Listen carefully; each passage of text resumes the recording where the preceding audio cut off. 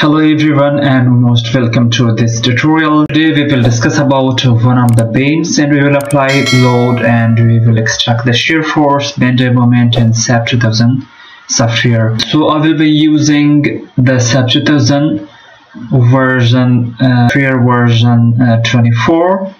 So if you do not have this software you can just download on free so and start uh, the designing of a building beams and others so let us start. I will go here to the new model. We will draw this beam. So this is a beam in x directions and its span is 10 meter 5 meters and 10 meter and 6 kilonewton load uh, point load has been applied on this beam and we will create the supports and we will apply the unit weight on this beam and we will analyze it and we will extract the shear force and bending moment. So it is x-axis and uh, the other one will be y in z-axis we do not need to to say it it is in x direction this beam so we will go here back to the software. SAP 2000s I will go here to the new model. So I will give us here initialize model and we'll select the default units here. We have three units. Like I will select here kilonewton meter and centigrades the kilonewton is for force and meter is for distance unit and C is for temperature. Yeah means centigrade. So we will have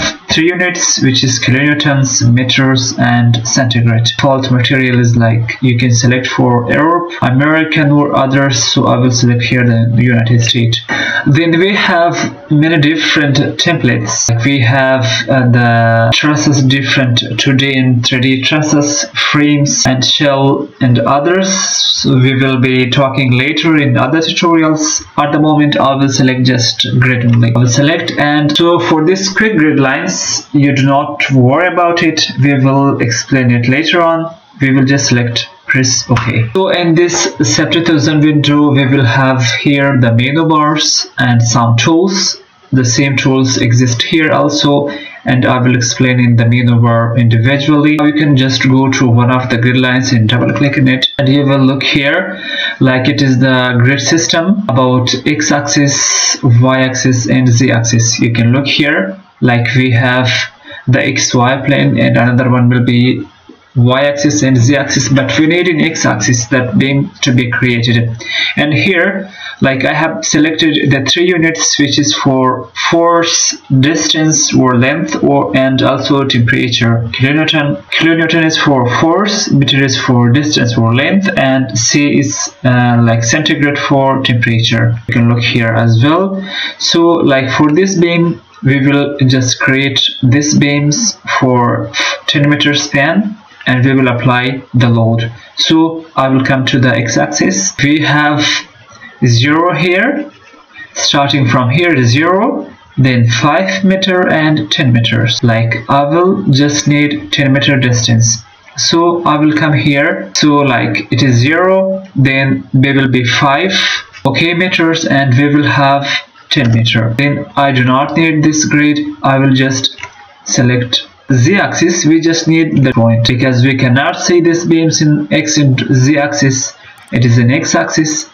We just need one of the reference point in both the axes. So I will delete the extra grids for x and for y and z. Now you can come to the xz view. So you will just see this beam.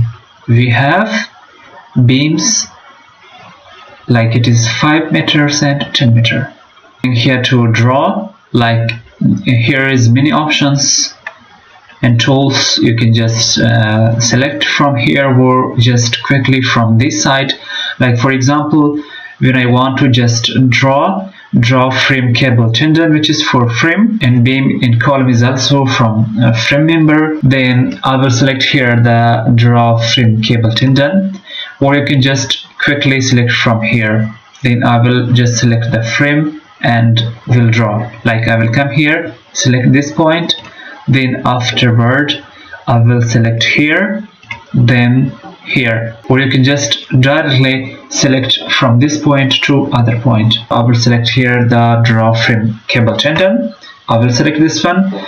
And you can just also select here the member but you do not need. And you, if you just want do not go here as a long procedure you can just simply click on this draw frame cable tendon and select here this point select the first grid point and the last grid point okay? Or you can just uh, do select this point and another one this grid point and also this the last grid point. You can look here when i select this grid point it is length is showing 5 meter. If i go here it is showing 10 meter. So i will select here this last point and afterward you just press escape. Then i'm coming here to select this point. Then I will apply the support or create the support. Again I am coming here to assign. For assigning uh, uh, like supports I will come here to the joint and after to the restraint. So this support is a hinge. Look here hinge support. So I will select here as a hinge or pinned. Then I will select apply and OK so this support has been created. Now again I am coming here to this support. I will select and go to assign joint and restraint constraint. After like we have roller support here I will select roller support and press apply and okay so like I have created the pin support and roller support in this beam now I will apply the load like 6 kilonewton load at the midpoint. So I'm coming here to select this beam then I will go to assign I, I've been coming here to the frame load because beam is a frame. Then I am coming here to the point load not the distributed load. It is a point load. I will select the point load.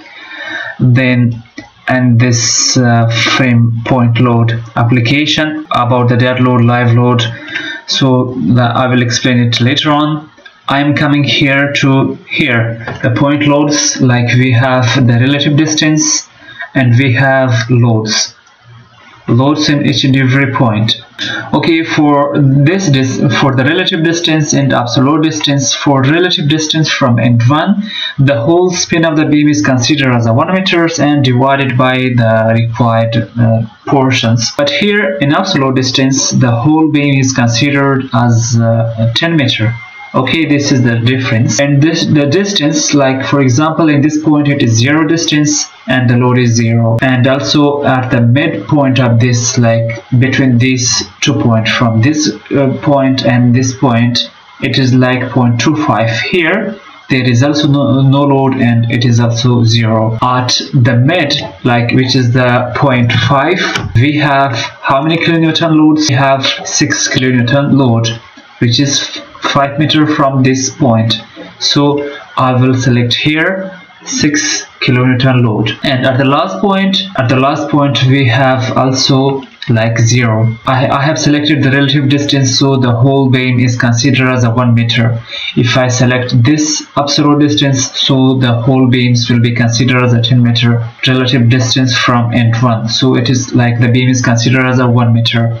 Then I will apply the 6 kilonewton load. Then I will apply and okay so the 6 kilonewton load has been applied. If I go back here to the assign and the frame load and also to the point load you can just change the load. And if you just want to reset default you can just come back to the default and also close it. I do not want to change.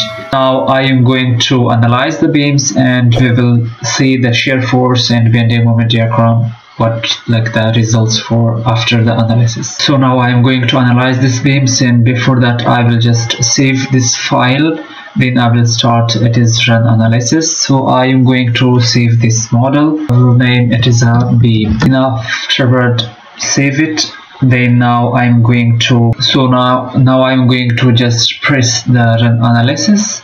So like it will start run analysis the analysis for this beam has been completed. You can just start animations and do other steps. So like now I'm coming here to show to show you the shear force and bending moment diagram. So for that I will come to the display and come here to the show force stresses cable tendons or you can just uh, do here from here as well. I will select here then I will select the combo like for the model. Then here in the component we have here the two portion like one is for shear force and another one is for moment bending moment. Like here the shear the shear force 22 is maximum shear force. It is like and here is like shear uh, 22 is the maximum principal force and shear 33 is like not maximum. I will select here the shear force maximum then I will apply here. This is the shear force. You want to see it is uh, show values as well you will select this one and apply. You can look here. It is bending moment and about it is sign convention. It is the shear force. Then again I am coming here to uh, to the bending moment like the moment 2 2 is the minimum and moment 3 3 is the maximum. I will select the moment bending moment 3 3 maximum then I will apply. So this is the bending moment maximum bending moment. This is the bending moment and another one was the shear force. So it was all about how to create a beams with its supports apply the load and analyze it.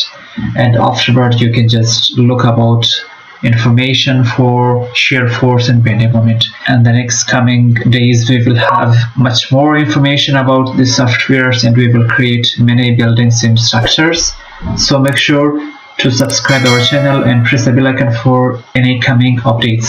Then have a wonderful time. Bye bye.